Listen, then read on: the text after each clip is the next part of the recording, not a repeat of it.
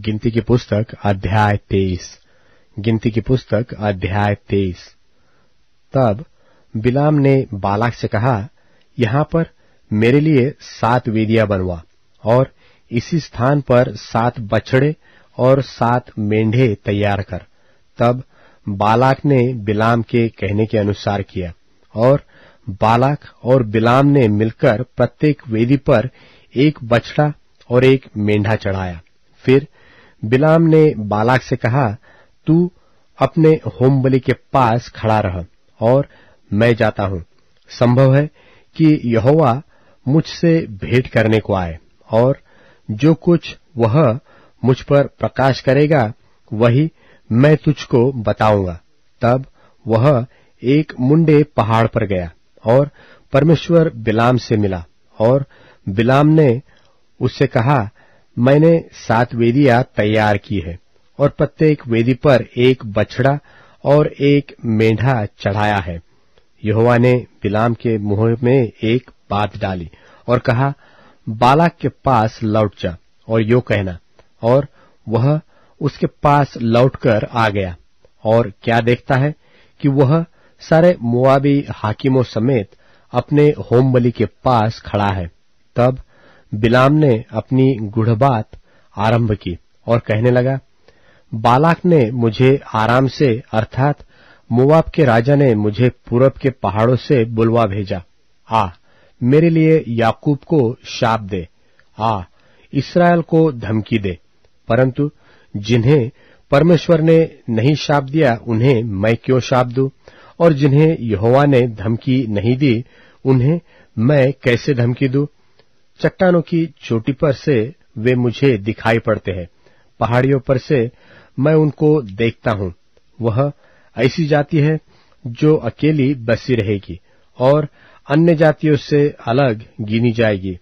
याकूब के धूली के किनके को कौन गिन सकता है?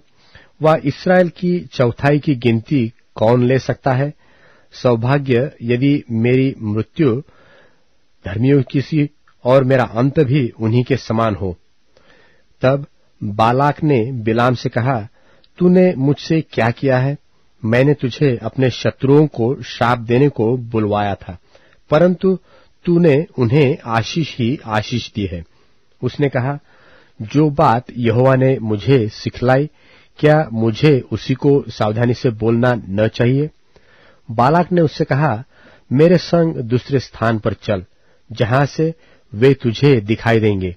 तू उन सबों को तो नहीं, केवल बाहर वालों को देख सकेगा। वहाँ से उन्हें मेरे लिए शाप दे।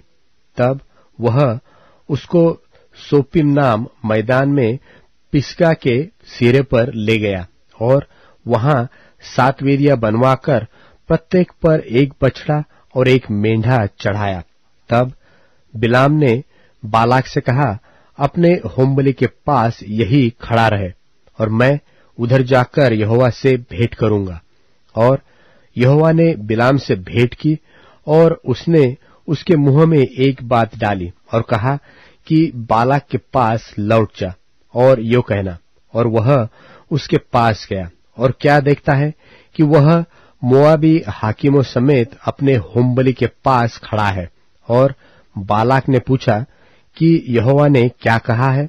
तब बिलाम ने अपनी गुड़ बात आरंभ की और कहने लगा, हे बालाक, मन लगाकर सुन। हे सिप्पोर के पुत्र, मेरी बात पर कान लगा। परमेश्वर मनुष्य नहीं कि झूठ बोले, और न वह आदमी है कि अपनी इच्छा बदले। क्या जो कुछ उसने कहा, उसे न करे? क्या वह वचन देकर उसे पूरा न करे? देख आशीर्वाद ही देने की आज्ञा मैंने पाई है। वह आशीष दे चुका है और मैं उसे नहीं पलट सकता। उसने याकूब में अनर्थ नहीं पाया और न इसराइल में अन्याय देखा है। उसका परमेश्वर यहोवा उसके संग है और उनमें राजा की सी ललकार होती है। उनको मिस्र में से परमेश्वर ही निकाल ले आया है।